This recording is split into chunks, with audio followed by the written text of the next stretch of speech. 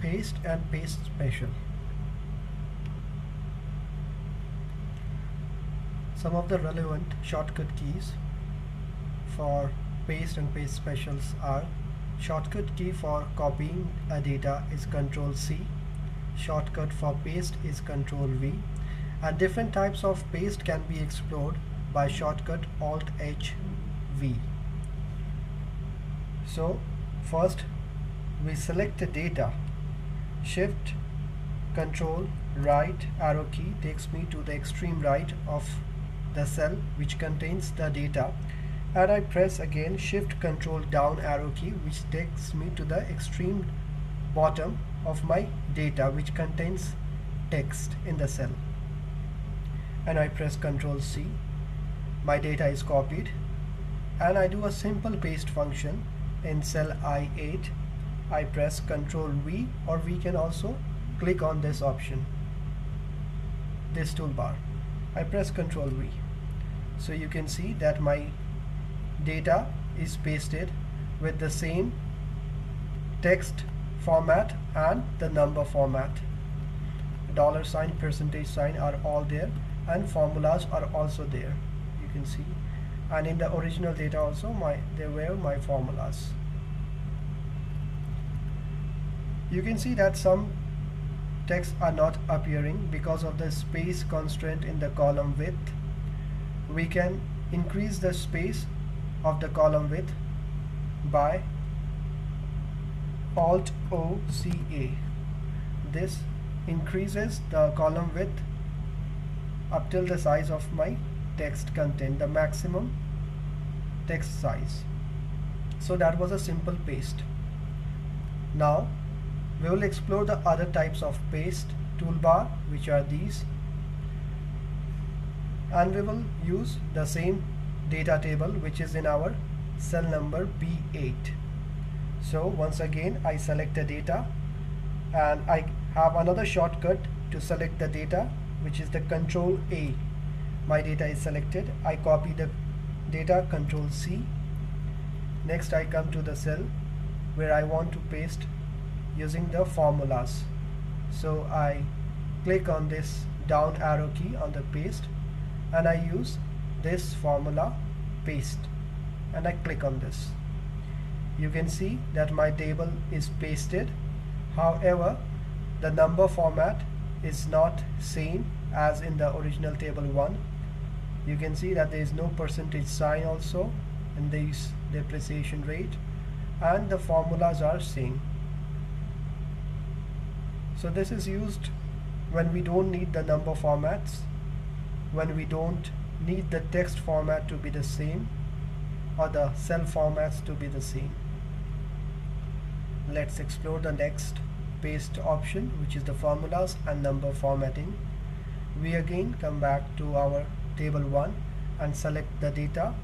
We can also do this with our cursor by clicking on the icon and dragging it to the portion which we want to select. The data is selected now. I press Ctrl C. The data is copied.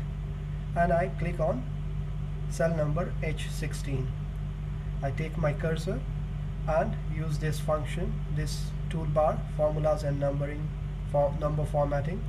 I click on this. You can see the data is pasted. The difference is that the number formatting are same as original but the cell formats are not same as original. This is used when we want the number formats to be intact as the original data. The formulas are also copied you can see.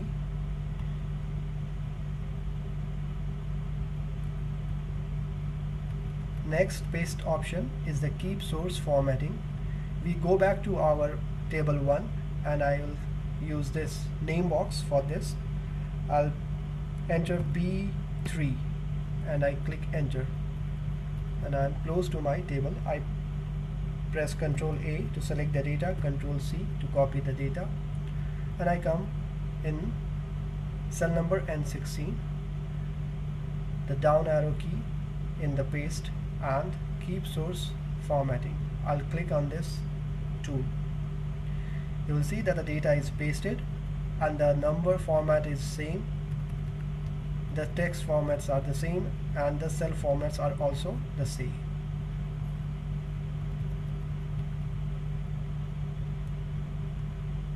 Let's go back to the table which is the B5 I think. Next time we will use B8 control A. We select the data control C copy the data.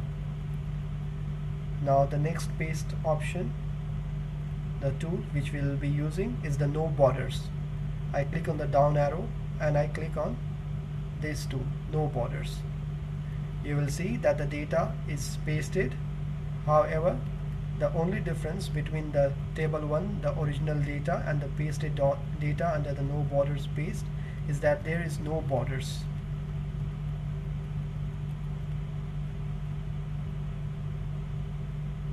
let's go back to the table which was B8 in the name box enter.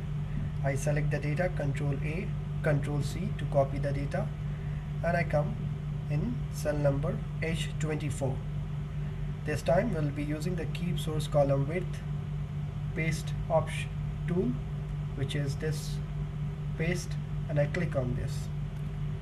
You will see that the data is pasted since we were not having space constraint that's why the data is you know pasted in the same width as in the table 1 the column width are same in this paste option.